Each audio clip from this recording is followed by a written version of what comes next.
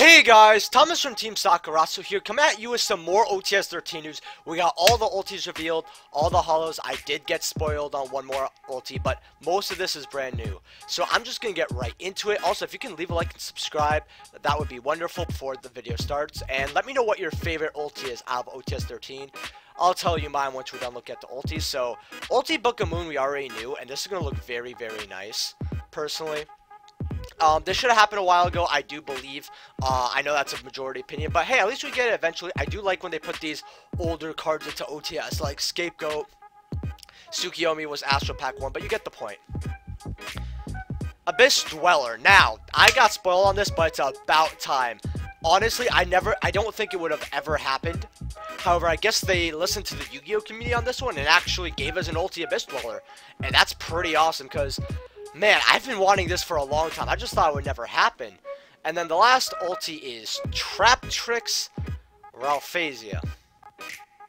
See, I don't... See, I feel like Konami gets its teeth into one or two archetypes at a time. Like, in Zexal era, it was like Noble Knights, you know, and then sort of Prophecy.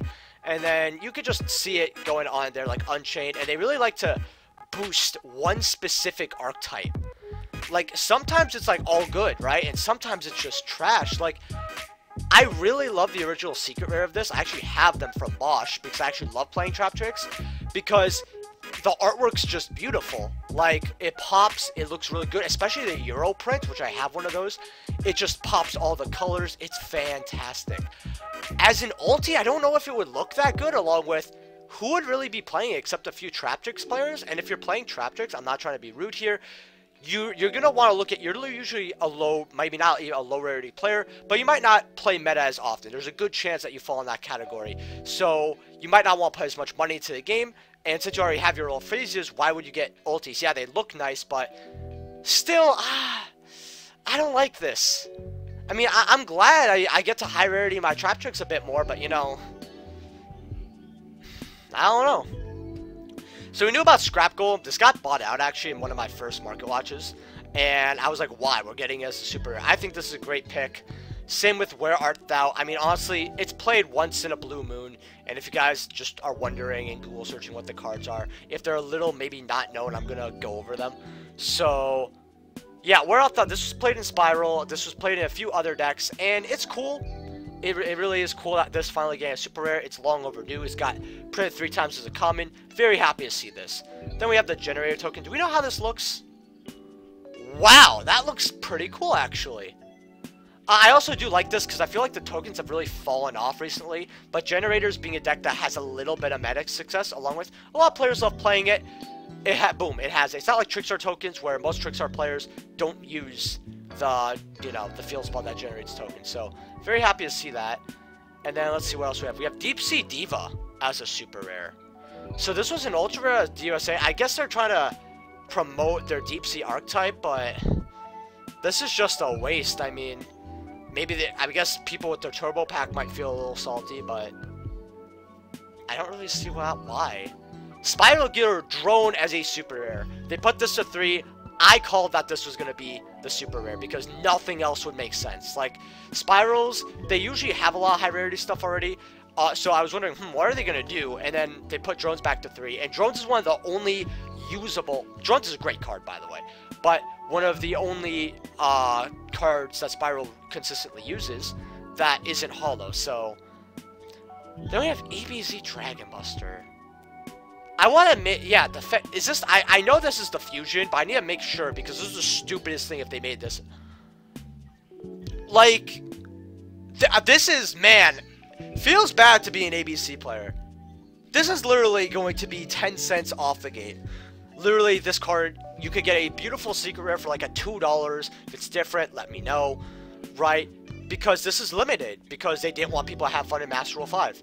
With this card in Union Carrier. And like, maybe they'll put it back to 3, but uh, because they heard the outcry, and we are technically getting a ban list in 15, 16 days, or we could, but why? Like, why? This is so dumb. This is literally an insult to injury. Honestly, I hope this is a sign that they're putting it back to 3, because if they just threw this in here, this is the worst OTS probably the second or third worst OTS super I've ever seen in my entire fucking life. Wow.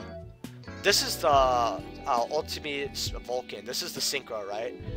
I mean, I don't know how this. I don't think this was hard to access, so I don't really know why. Clearwing Synchro Dragon. I mean, dual. I think Dual Power had these. Yeah, Dual Power had these for like three dollars. You could get an Ultra. Why?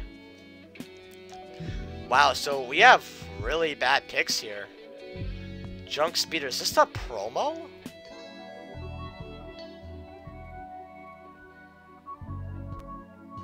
Like, um, I mean, you could see the disgust on my face. This is literally a dollar or two, and the secret. Man, they they really this these supers suck. Like we were we were actually on a good good streak, you know, where Thou used once in a while, finally gets a hollow print. Sure, that that's cool. Scrap Golem, very much needed, great. Generated token, we always have to get a token, which I don't like. I just wish I don't mind getting tokens. I don't mind getting a generator token. It's just I don't think that Konami uh, thinks that they should be obligated to make a token every OTS pack because sometimes it's just it not needed. Uh, with generators, though, however it is, especially because you're going to need multiple of these, I think this is a, probably one of their better picks. But once you get to here, you got three good supers, right? Uh, you know, nothing groundbreaking besides probably Scrap Golem, right? Then it gets like, drones is okay, but people are really playing spirals right now anyway. It's way too late. So this is really on the lower end anyway, but like, you know, whatever. But the rest of this, and yeah, I know we have Bahamut Shark as a super. That's cool, but like... I mean, okay, I guess I guess that's fine. I know they were a bit of money, and I don't like the gold rare. I do have gold rares. Uh... So, who's disappointed in this OTS pack? Like, except for, what is your biggest disappointment in OTS 13? I want to know that in the comment section below, as well as your favorite ulti. My biggest disappointment is ABC Dragon Buster being a super rare. And just a lot of the super rares in general. Like, we still have more to go, but like, it's going to be quite difficult to redeem the super slots, I believe, because, you know, Plus, Scrap Golem, while that's a great reprint, you're only going to need one of these as well. So it's only good for the first time you pull it, possibly maybe the second, possibly, but probably not.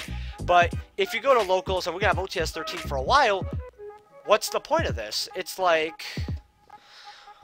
Well, with that being said, guys, I leave a like, subscribe, and I will see you guys in the next video. Peace.